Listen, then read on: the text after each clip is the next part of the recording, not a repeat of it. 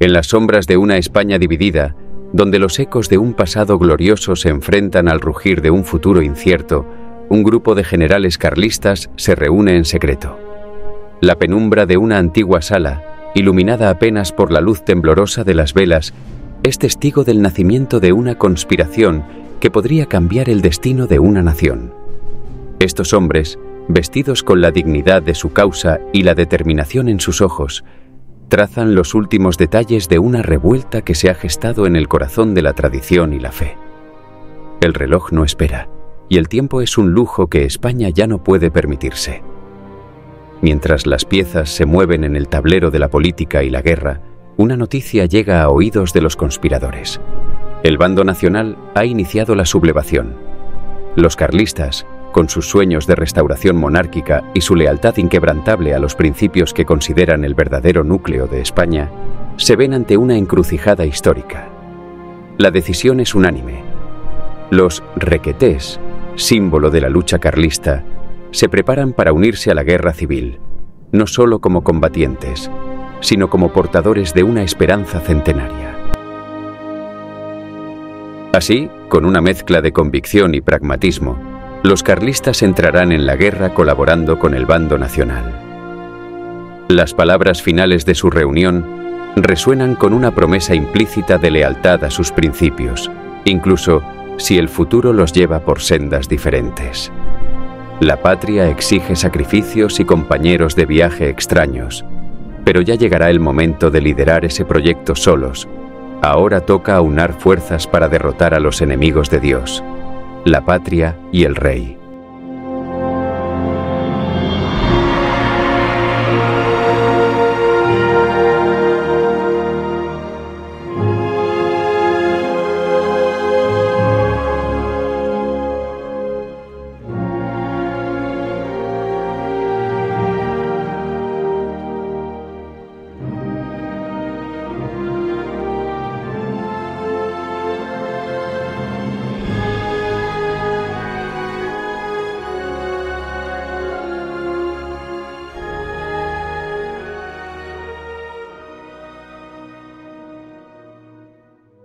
España, 1936. Una nación al borde de un cataclismo. En el corazón de esta tormenta, los preparativos para la guerra civil se aceleran. El bando nacional, liderado por figuras icónicas, busca consolidar su control sobre el norte de España, mientras que la República lucha desesperadamente por mantener su influencia en regiones vitales como Asturias y el País Vasco. Los carlistas, con su inquebrantable fe en la restauración monárquica, están en el centro de estos preparativos, infiltrando y consolidando fuerzas para el inminente conflicto que cambiará el destino de la nación. En una oscura sala de planificación, el aire está cargado de tensión y determinación. Don Javier de Borbón Parma y sus generales carlistas se reúnen alrededor de una robusta mesa de roble, iluminados por la luz vacilante de las velas. Mapas y documentos estratégicos están esparcidos por la mesa, cada uno marcando puntos cruciales de un plan grandioso. Estos hombres están decididos a asegurar el control del norte de España, una región vital para sus planes de victoria. Con miradas intensas y voces firmes, debaten las tácticas necesarias. La atmósfera es eléctrica, llena de una mezcla de esperanza y urgencia. Los generales saben que cada decisión es crucial que cada paso los acerca a la gloria o al abismo. La determinación se refleja en sus rostros, conscientes de la importancia de su misión. La luz parpadeante de las velas proyecta sombras danzantes en las paredes, creando una atmósfera de conspiración y secreto. Mapas y documentos estratégicos están esparcidos por la mesa, algunos de ellos marcados con líneas rojas y notas manuscritas. Don Javier de Borbón Parma un hombre de mediana edad, con una presencia imponente y los ojos llenos de determinación, preside la reunión. A su lado, el general Tomás Garicano Goñi, conocido por su valentía y lealtad inquebrantable, revisa un mapa con atención. Don Javier. Caballeros, nuestra causa está más viva que nunca. La República ha demostrado ser una amenaza para nuestra fe y nuestras tradiciones. Debemos actuar ahora, antes de que sea demasiado tarde. General Garicano. Estoy de acuerdo, don Javier. Pero hay noticias. Los nacionales se han sublevado. El general Franco ha tomado las armas contra la República. Un murmullo recorre la sala mientras los generales asimilan la noticia. La tensión es palpable. Don Javier. Esto cambia nuestro escenario, pero no nuestra misión. Si los nacionales han iniciado la revuelta, podemos y debemos unirnos a ellos. Juntos, seremos más fuertes. General Garicano. Así es. Pero debemos recordar que aunque ahora nuestros caminos se cruzan, nuestros objetivos finales podrían separarnos. No olvidemos nuestra visión de una España monárquica y tradicional. Los generales asienten con determinación. La decisión está tomada. Los requetés, la fuerza de combate más fiel del carlismo, se unirán a la guerra civil para luchar junto a los nacionales. La escena termina con un solemne juramento de lealtad a la causa carlista y a la lucha por España. Mientras tanto, en el cuartel general de la República, el ambiente es igualmente tenso. Manuel Azaña, ahora al mando tras la destitución de Niceto Alcalá Zamora, se enfrenta a una crisis creciente. Rodeado de asesores y líderes republicanos, Azaña debate fervientemente sobre cómo contrarrestar la influencia nacionalista. La sala está llena de mapas y documentos, y las discusiones son acaloradas. Cada palabra pronunciada es un intento desesperado por mantener la unidad y la fortaleza de la República. En un rincón, los líderes izquierdistas se susurran estrategias, conscientes de que cualquier error podría costarles caro. La preocupación es evidente en los rostros de los líderes republicanos, conscientes de la gravedad de la situación y del desafío titánico que enfrentan. En un campamento militar, el general José Enrique Varela, infiltrado como comandante en jefe de los ejércitos regulares, comienza su labor. Bajo su atenta mirada, los soldados se entrenan incansablemente, perfeccionando cada táctica y movimiento. La disciplina es férrea y el entrenamiento exhaustivo. Cada soldado está preparado para el combate, consciente de la importancia de su papel en la lucha que se avecina. El ambiente está cargado de determinación y sudor, con soldados que practican maniobras bajo el sol abrasador. La figura de Varela, firme y resoluta, supervisa cada detalle, sabiendo que la preparación es clave para la victoria. En las costas del Atlántico, la Armada Española se prepara para un movimiento estratégico. El almirante Carrero Blanco, una figura imponente y estratégica, toma el mando. Bajo el pretexto de maniobras marítimas, la flota se alista en La Coruña, designada como base naval. Los barcos se alinean en el puerto, listos para zarpar. Los marineros ajustan sus equipos con precisión militar, conscientes de la importancia de su misión. Las olas chocan contra los cascos de los barcos mientras Carrero Blanco, desde el puente de mando, observa cada maniobra con un ojo crítico. Las maniobras en el Atlántico y el Golfo de Vizcaya no son meras prácticas, son la antesala de un movimiento crucial para consolidar el control marítimo y apoyar el alzamiento. En el corazón industrial de España, las fábricas zumban con actividad. Los carlistas, comprendiendo la necesidad de la innovación, atraen a científicos simpatizantes para trabajar junto con el Estado Mayor. La producción masiva de camiones es una prioridad, un elemento vital para la logística militar.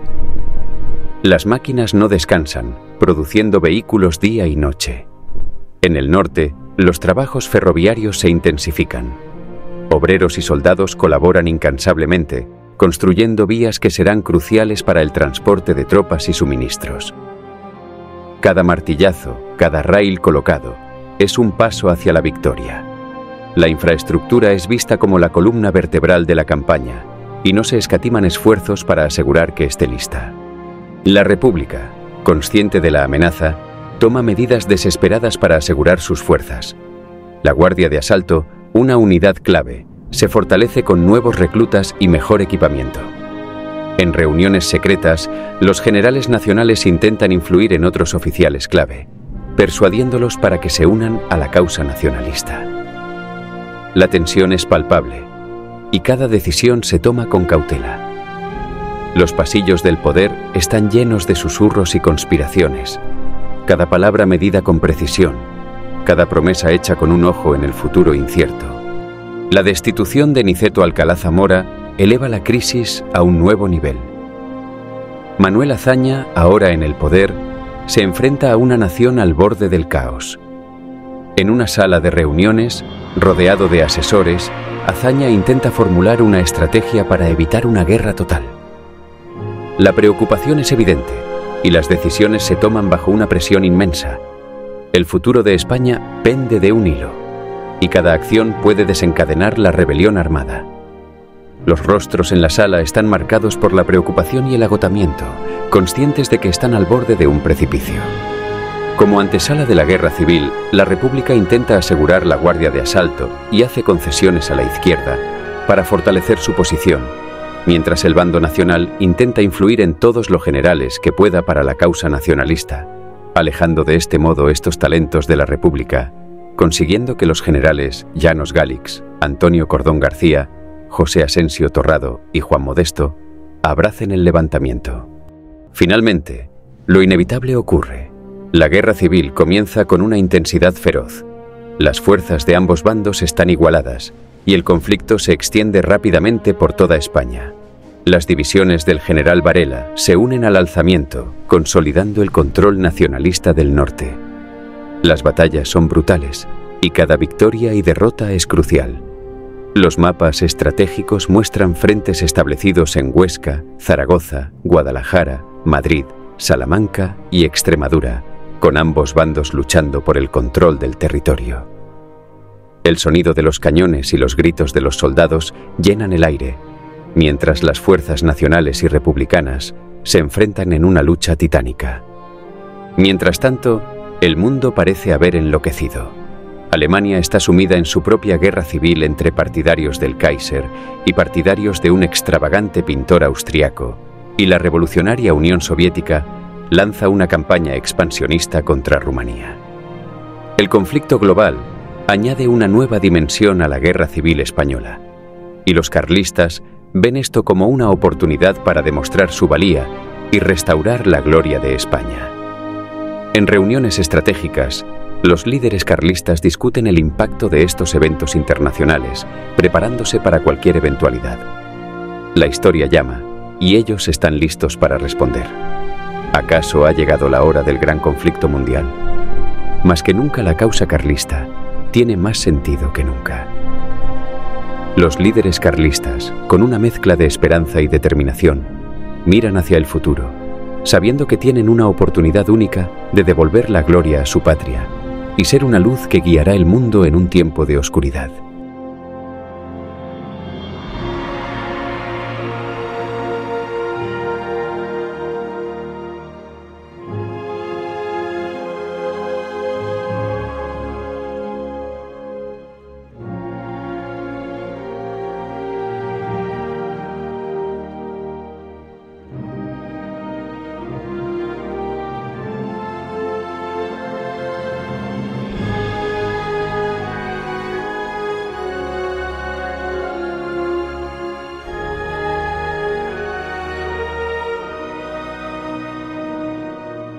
La guerra civil española ha comenzado, una guerra que cambiará definitivamente el destino de España.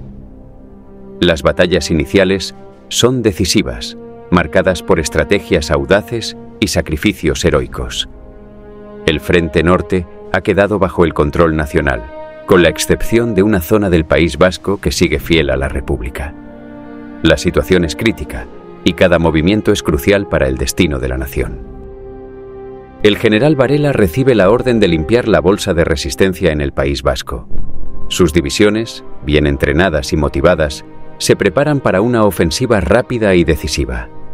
La resistencia republicana es feroz, pero las tácticas de Varela y la determinación de sus hombres logran romper las defensas enemigas. Con el frente norte asegurado, Varela se prepara para una nueva misión, liderar una ofensiva en Extremadura. Para sostener las líneas, los generales José Millán Astray y Miguel Cabanellas asumen el mando del frente occidental y oriental, respectivamente. Su misión es clara, resistir, contener y desgastar los ataques de la República. Millán Astray, conocido por su temeridad y coraje, organiza defensas impenetrables. Cabanellas, con su astucia y experiencia, maneja sus tropas con precisión táctica. Cada enfrentamiento es una prueba de voluntad y fuerza y ambos generales se muestran a la altura del desafío.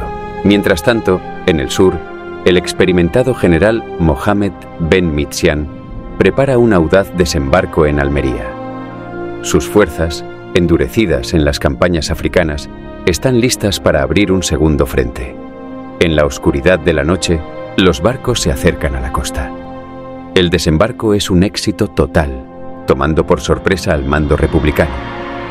Rápidamente, las fuerzas de Micián avanzan hacia Granada y Málaga, cortando importantes nudos logísticos de la República.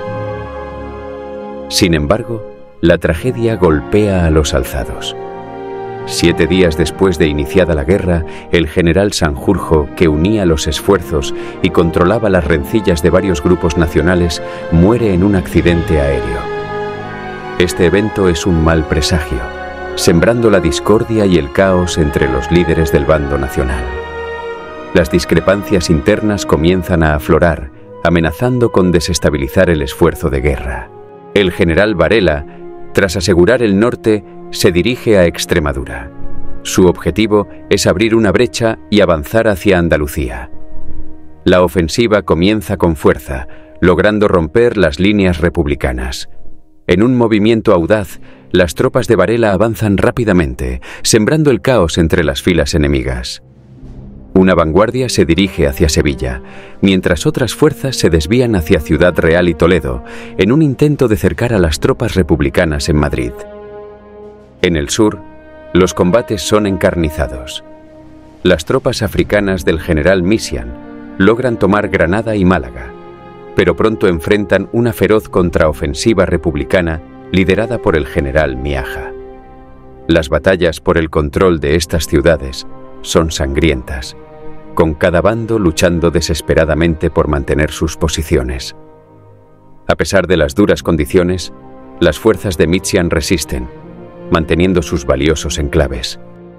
El nodo logístico que comunica Almería con Murcia se convierte en un campo de batalla crucial. Los republicanos refuerzan la zona, rechazando repetidos ataques nacionales.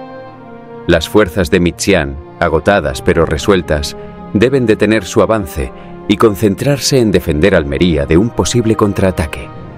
Los combates son brutales, con ambos bandos sufriendo grandes pérdidas. En la ofensiva de Extremadura, las tropas republicanas se hacen fuertes en Talavera de la Reina. Algunas unidades quedan embolsadas en Plasencia, cortando una arteria vital de suministros. Tras feroces combates, Plasencia cae, pero no sin un costo significativo. Una división que defendía el Alcázar de Toledo es aislada y eliminada, al igual que una brigada en Ciudad Real. Estos sacrificios heroicos marcan un alto precio para la causa nacional. Con Sevilla y Córdoba al alcance, las tropas nacionales avanzan, pero las fuerzas republicanas logran contenerlos a las puertas de las ciudades. La resistencia es feroz y las batallas se libran casa por casa. Mientras tanto, en el frente político, se gesta un complot de los falangistas para apartar a las fuerzas carlistas del alzamiento. Las tensiones internas en el bando nacional alcanzan un punto crítico. Los carlistas, conscientes del complot falangista, preparan cinco brigadas de requetés en Galicia para luchar contra los falangistas si estalla la insurrección. La situación se vuelve más precaria con la amenaza de una insurrección anarquista en Cataluña. La causa carlista pende de un hilo no solo deben luchar contra la República, sino también contra sus antiguos aliados del bando nacional y la creciente amenaza anarquista. La supervivencia y la gloria de España están en juego, y el futuro es incierto. ¿Será el fin de la causa carlista o será el inicio de la nueva gloria de España?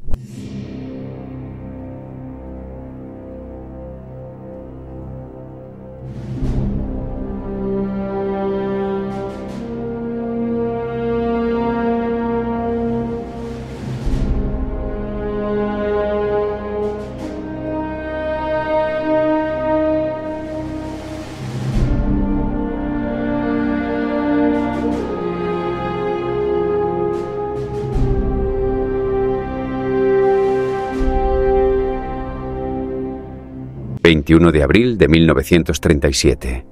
España arde. El país, dividido en dos frentes irreconciliables, está sumido en la vorágine de la guerra civil. En este abril de 1937, las líneas de batalla están trazadas con sangre y pólvora. El norte, el oeste y una parte crucial del sur están en manos del bando nacional, mientras que el centro, el este y el sur del país permanecen bajo control republicano. La tensión es palpable y cada decisión tomada puede ser la que incline la balanza en este conflicto devastador. Los carlistas, conscientes de que el tiempo es su enemigo más acérrimo, saben que deben actuar con rapidez. El mando carlista, liderado por el mariscal Manuel Falconde, está al tanto de las oscuras maquinaciones de los falangistas que planean un golpe desde dentro. Si el complot se materializa, todo por lo que han luchado podría desmoronarse. Es una carrera contra reloj, una lucha contra la traición que amenaza con destruir la ya frágil alianza dentro del bando nacional. El amanecer del 26 de mayo trajo consigo el peor de los presagios. A las 8 de la mañana, los falangistas, liderados por una ambición desmedida, se rebelan abiertamente. Oficiales carlistas son arrestados y el caos se extiende como un veneno por las filas leales. En cuestión de horas, las líneas del frente, cuidadosamente construidas a lo largo de meses de lucha, se desintegran. Las tropas leales están en desorden, sin saber a quién obedecer, y el frente, que había sido una muralla contra el avance republicano, ahora se convierte en un coladero por donde el enemigo comienza a recuperar terreno perdido. Las noticias de la traición llegan a Falconde, quien, en un despliegue de frialdad y cálculo, analiza la situación. Sabe que no puede ceder ante el pánico. Ordena a todas las unidades leales que replieguen sus líneas y se dirijan a las ciudades aún bajo control nacional para aplastar el golpe falangista. Sabe que esta es una misión casi suicida, pero no hay otra opción. Deben retomar el control o el esfuerzo de guerra se desmoronará por completo. Las órdenes son rápidas y precisas. A las divisiones africanas de élite, aún leales al carlismo, se les ordena abandonar rápidamente Andalucía. En medio de la confusión generalizada, embarcan en Almería y se dirigen a Bilbao, donde su fuerza será crucial para reconquistar el norte. El general Cabanellas, un veterano de innumerables batallas, recibe la misión de retomar Zaragoza y establecer un frente defensivo que se extienda desde Huesca hasta Guadalajara. Su tarea es detener el avance combinado de falangistas y republicanos, un desafío que aceptará con toda la fiereza de su carácter. Al general Millán Astray, conocido por su implacabilidad, se le ordena reunir todas las unidades disponibles y capturar Bilbao.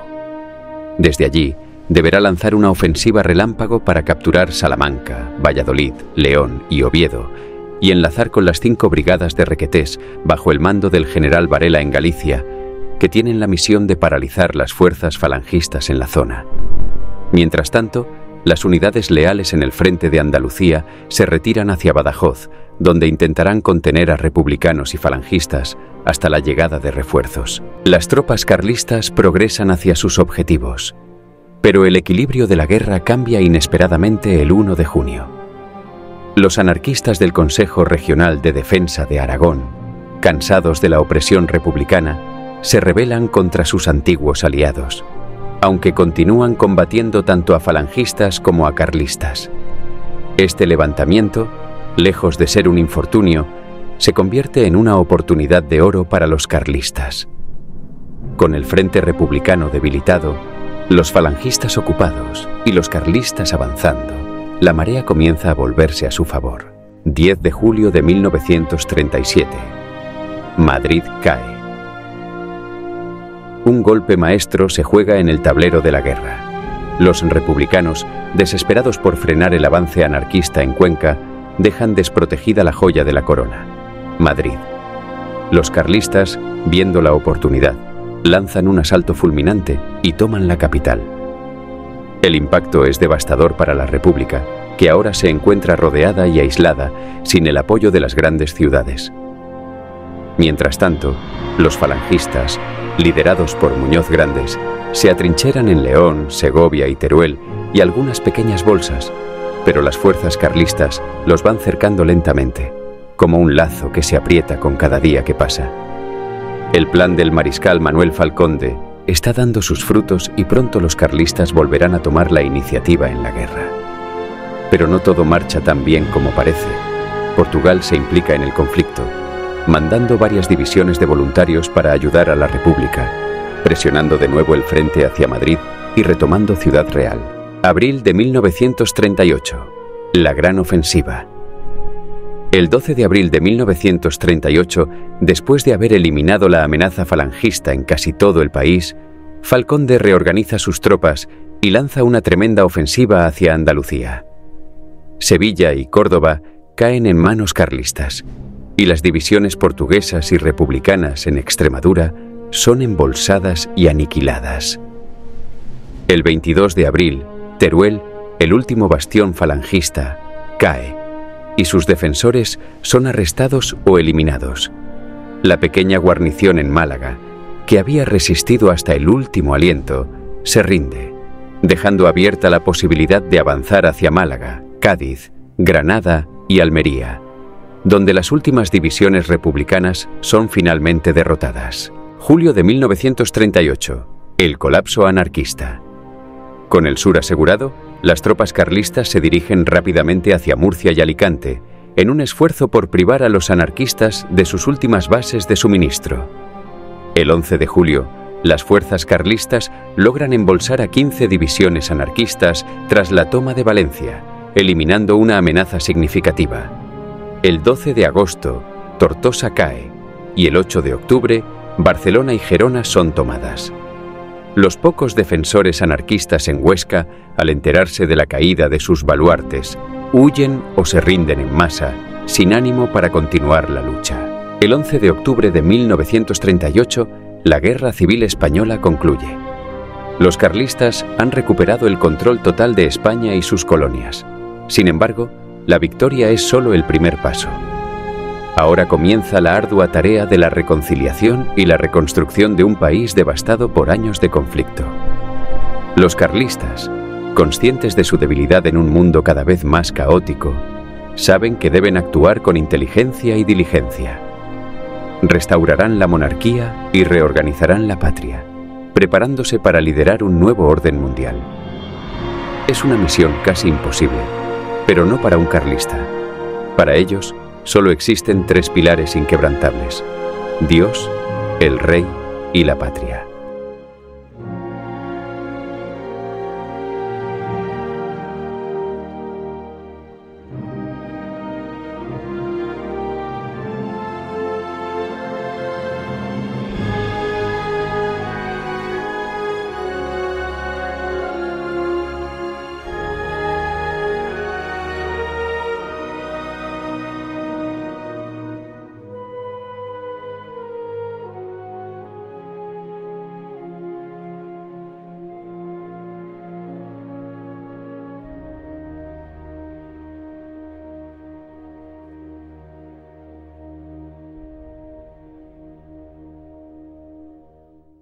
11 de octubre de 1938. El sonido de las armas ha cesado en España, pero la paz es frágil y los desafíos son colosales. El país, devastado por años de guerra civil, se enfrenta a la titánica tarea de reconstrucción y modernización. Las ciudades están en ruinas, las fábricas destruidas y la población, exhausta y dolida, anhela la paz. Sin embargo, en las sombras, nuevas amenazas se ciernen sobre la recién unificada nación. Manuel Falconde, el astuto estratega que ha guiado al carlismo a la victoria, no se deja engañar por el breve respiro de tranquilidad. Sabe que la amenaza de Portugal, humillada tras su derrota en apoyo al bando republicano, es real. Portugal, un país que alguna vez fue un aliado, ahora se debate entre la desesperación y la venganza, buscando apoyo en potencias extranjeras para preparar una invasión. Falconde, consciente de la necesidad de actuar antes de que sea demasiado tarde, reúne a su Estado Mayor carlista. En esta reunión, la decisión es clara. España no puede esperar a que Portugal se rearme y busque alianzas. La única solución es un ataque preventivo, una guerra relámpago que someta a Portugal antes de que puedan mover ficha. Así, la maquinaria de guerra española, apenas descansada de la guerra civil, comienza a moverse una vez más, con el objetivo de asegurar la hegemonía en la península ibérica y preparar el camino para la expansión imperial. Mientras tanto, en las ciudades y los pueblos, la reconstrucción avanza a marchas forzadas. Nuevas fábricas se levantan sobre las cenizas de las antiguas y las infraestructuras dañadas se reparan con una rapidez impresionante. La estabilidad interna crece y con ella la confianza en que España, bajo el mando carlista, puede alcanzar alturas insospechadas. Paralelamente, la agencia de inteligencia recién formada comienza a operar en las sombras, entrenando espías que jugarán un papel crucial en las guerras venideras. 15 de febrero de 1939, justo cuando la nación parece estar a punto de lanzar su ofensiva, un hecho trágico sacude los cimientos del carlismo. Alfonso Carlos, el legítimo sucesor de la línea carlista, muere sin dejar descendencia. Su muerte deja al movimiento carlista en una encrucijada peligrosa. Sin un heredero claro, el movimiento corre el riesgo de fracturarse justo cuando más se necesita unidad. La muerte de Alfonso Carlos abre un debate amargo y dividido entre los carlistas. Algunos apoyan a Javier de Borbón Parma, el sucesor designado por Alfonso Carlos, cuya lealtad y sacrificios durante la guerra civil han sido incuestionables. Otros, sin embargo, ven en Alfonso XIII, el rey exiliado, una figura que, a pesar de sus orígenes en la línea borbónica traicionera, podría unir a la nación bajo una bandera común. Manuel Falconde, comprendiendo la gravedad de la situación, convoca al Gran Consejo Carlista. En una muestra de liderazgo y sabiduría, Falconde defiende a Javier de Borbón Parma, argumentando que él es el único capaz de mantener la unidad del carlismo y cumplir los últimos deseos de Alfonso Carlos. Con su apasionado discurso, logra convencer al Consejo, que finalmente decide por unanimidad apoyar a Javier de Borbón Parma como futuro rey de España. 25 de marzo de 1939. A medida que los preparativos para la guerra avanzan, el servicio de contrainteligencia carlista descubre una verdad inquietante. Portugal está conspirando activamente contra España. A través de quintacolumnistas y apoyo a los maquis, los portugueses intentan debilitar el control carlista y preparar el terreno para una futura rebelión armada. Esta revelación es la confirmación de que la guerra es inevitable. Manuel Falconde, siguiendo la máxima militar de que quien golpea primero golpea dos veces, da la orden de iniciar la invasión. Las tropas, ya posicionadas a lo largo de la frontera, se lanzan al ataque con una precisión letal.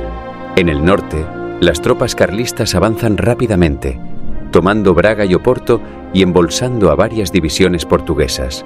En el sur, la resistencia es feroz, pero las fuerzas carlistas, bien entrenadas y decididas, logran avanzar.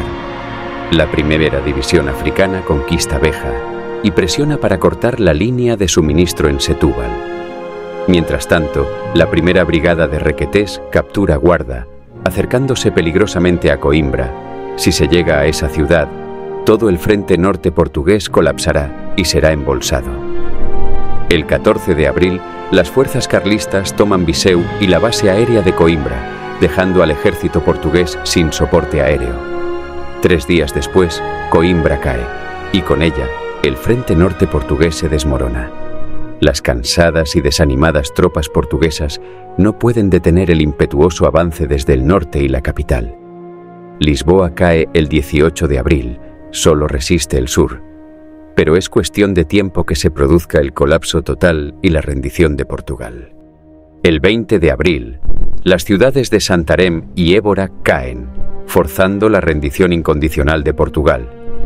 La anexión de los territorios portugueses se lleva a cabo de inmediato y la armada portuguesa es capturada intacta, engrosando las filas de la flota imperial bajo el mando del almirante Carrero Blanco. Con esta victoria, España no solo asegura valiosos recursos y territorios ultramarinos, sino que también se posiciona como una potencia que no puede ser ignorada en la escena internacional. Sin embargo, las nubes de la guerra se acumulan en el horizonte y el mundo se encamina hacia un conflicto de proporciones inimaginables. 30 de agosto de 1940. A medida que España se recupera de la guerra y se prepara para un futuro incierto, el sueño carlista se hace realidad. El 30 de agosto de 1940, la monarquía es restaurada en España. En una ceremonia grandiosa y emotiva en la iglesia de San Jerónimo el Real, don Javier de Borbón Parma es coronado como Javier I, rey de España. Las calles se llenan de vítores y la nación aunque aún herida por la guerra, encuentra un nuevo sentido de propósito bajo el liderazgo de su nuevo rey. La coronación de Javier I no solo marca el final de una era de luchas internas, sino también el comienzo de una nueva etapa en la historia de España. Con un monarca legítimo en el trono, España se prepara para enfrentar los desafíos del futuro, con la esperanza de restaurar su gloria pasada y liderar el mundo hacia un nuevo orden. Aunque buena parte de la nación sigue en ruinas y está en proceso de reconstrucción, la presencia del nuevo rey hará que sirva de fuerza curativa y unificadora, consiguiendo guiar al reino de España hacia un futuro glorioso y al nacimiento del nuevo imperio español. Este día será testigo de la corrección de un siglo de injusticia. Viva el rey, Dios y la patria.